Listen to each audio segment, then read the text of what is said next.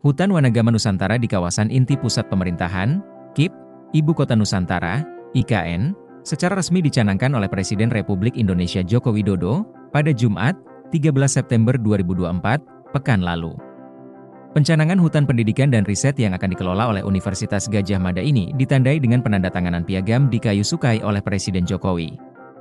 Rektor Universitas Gajah Mada, Ova Emilia mengatakan, Wanagama Nusantara merupakan inisiatif perguruan tinggi yang berfokus pada pengembangan hutan pendidikan dan penelitian lintas disiplin. Serta, bertujuan melestarikan lingkungan, salah satunya melalui restorasi.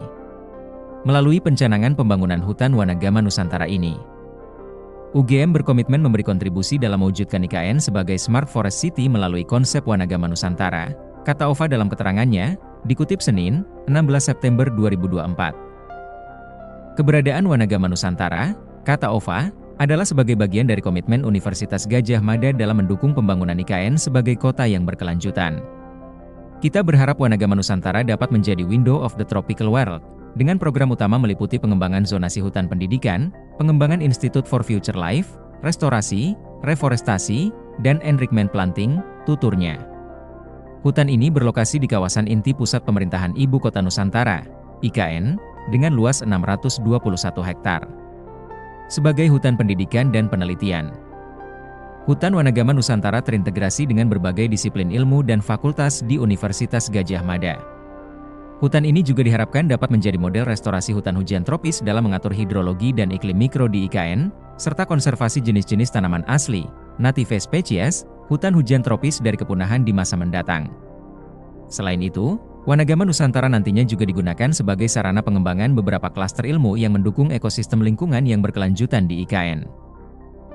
Ke depan, UGM merancang untuk mendirikan Institute for Future Life sebagai salah satu fasilitas pendidikan dan penelitian dengan konsep bangunan cerdas dan hijau, Smart and Green Building, di hutan tersebut. Direktur Pengembangan Pemanfaatan Kehutanan dan Sumber Daya Air, Otoritas Ibu Kota Nusantara, Pungki Widiaryanto menambahkan, Tahap awal pengembangan adalah seluas 28 hektar.